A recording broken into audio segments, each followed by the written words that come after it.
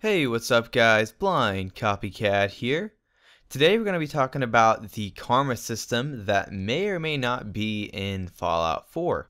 So if you've been keeping up with the news on Fallout 4, we've got a lot of details coming out about it, like the weapon customization, armor customization, how you can build settlements, all that cool stuff. But as far as I can tell, there is no word on a karma system returning or not returning in Fallout 4. So just in case you don't know, uh, the karma system in Fallout 3 worked so that if you like stole stuff or you shot innocent people and did that sort of not nice things, it would give you negative karma, or if you did good stuff, you did good deeds, you get positive karma and it affected how pretty much everyone viewed you, if I remember correctly. However, in Fallout New Vegas, the karma system wasn't all that useful.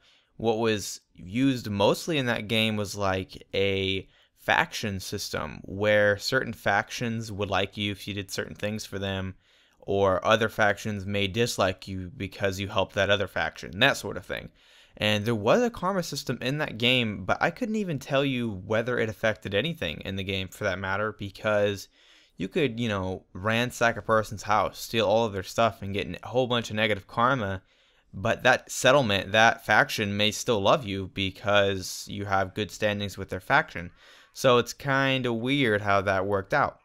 And like I said, I don't think there's any word of whether there's going to be a karma system in Fallout 4. Personally, I think it would probably be a good thing if there's some sort of karma system because I've noticed, especially in Fallout New Vegas, I end up just kind of taking everything I can from people because there's no negative consequences. They almost encourage you to steal and to get away with as much as you can without getting caught because there's no negative repercussions and I played differently in Fallout 3 because I wanted to be a good guy.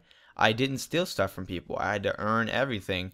And in New Vegas, there's since there's no real negative side effect to doing that sort of stuff, you just kind of naturally do it.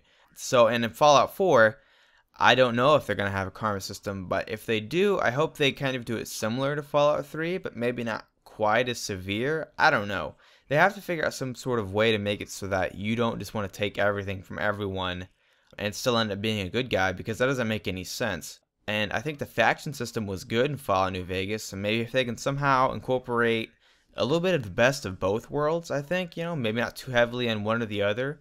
Um, we'll see what they do, but as of right now, there's no word on it as far as I can tell, so we'll just have to see. Alright, thanks for watching guys. Go ahead and click that like button if you enjoyed the video and drop a comment down below um, if you guys have any ideas about what you think the karma system should be like in Fallout 4. And go ahead and click that subscribe button for more cool videos like this and I'll catch you guys in the next one. Peace out.